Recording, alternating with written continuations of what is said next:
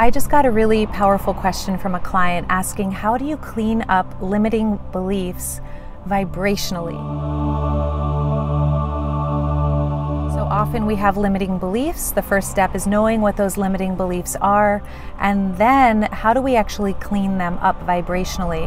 So it's very easy to do that in terms of changing our language around it, and maybe we know what the belief is, and then we turn it around. And let's say the belief is, I have to work really hard and struggle in order to survive and that's a really heavy belief structure. So then we flip it and we're like, well, the more ease I have in my life, the more prosperous I am, right? And that's a beautiful shift.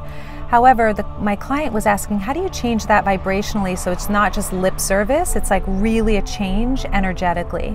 So oftentimes our parents program these beliefs into our you know into our psyche. And so for her for example she was never applauded for being doing something she loved and just feeling joyful and at ease and creating from her heart. But whenever she struggled really hard with something and got through it she was applauded so in her mind, she learns that I'll get attention if I do really hard things, but when I'm in the flow or things are easy, no one's going to pay attention. I won't be loved. I'll be alone.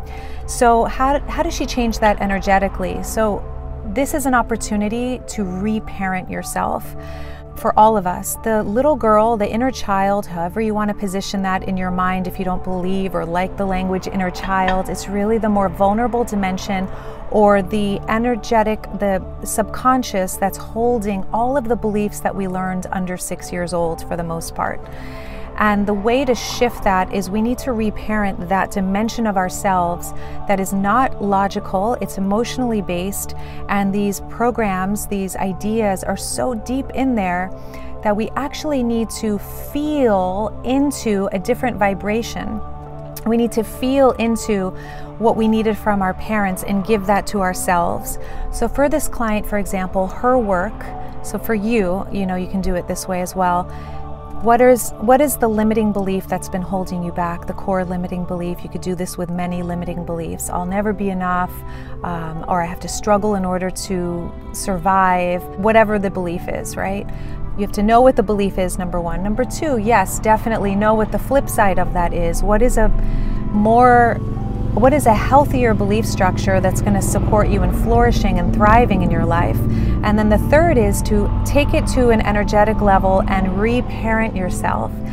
So, this is really giving yourself permission to take action in accordance with the new belief structure, the healthier belief structure. So, my client's healthier belief structure is if I have more ease in my life, then I'll be more prosperous. If I do what I love, I'll be more prosperous. So, if you just allow that belief structure to take place, then as you reparent yourself, hi, Mama, um, as you reparent yourself, I'm making a video. this is Carolina. Hi, this is my new license plate. Awesome she is my soul sister. Um, so, really quickly, last step is you. And in order to do that, you basically applaud yourself, you love yourself, you acknowledge yourself every time. For in her case, anytime she has more ease in her life or is doing something that she enjoys, or for her, she put a boundary with her students, and basically, instead of making it so hard for her and making herself available every day of the week, she put boundaries with her students and is only available three days a week. So there's more ease in her life.